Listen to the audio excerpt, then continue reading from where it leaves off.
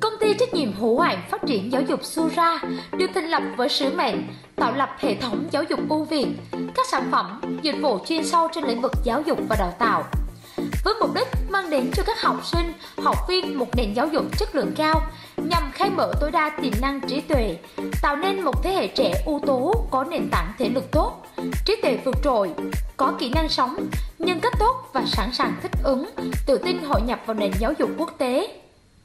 Sura đã không ngừng nỗ lực, nghiên cứu và cho ra đời những khóa học với những phương pháp giảng dạy mới lạ, hiện đại, hiệu quả, giáo trình sinh động để đem lại cho học viên hiệu quả học tập tối đa.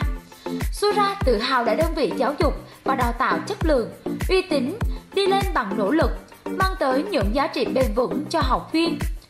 Nơi đây không chỉ đào tạo về kiến thức mà còn hoàn thiện về con người. Các giáo viên và nhân viên tại công ty cũng đa dạng với bề dày kinh nghiệm giảng dạy và hiểu tâm lý học viên. Trong suốt 4 năm vừa qua, công ty luôn làm việc với tiêu chí đặt giá trị cốt lõi, chất lượng, trung thực, tôn trọng và cống hiến lên hàng đầu. Ngoài ra, Trung đoàn có cơ hội làm việc và đào tạo đội ngũ hơn 50 giáo viên với trình độ thạc sĩ, tiến sĩ và du học sinh xuất sắc. Chính vì thế, chúng tôi đã đạt được hơn 90% học viên hài lòng sau khóa học và được đảm bảo đầu ra. Hơn 80% học viên đạt được mục tiêu mong muốn.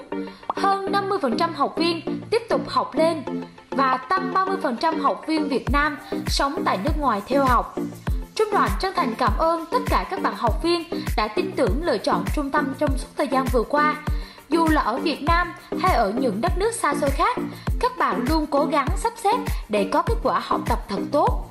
Và chúng tôi cũng không thể quên gửi lời cảm ơn đến đội ngũ giáo viên vô cùng tận tâm, cũng như đội ngũ văn phòng, luôn đồng hành và hỗ trợ giáo viên và học viên tại trung đoàn.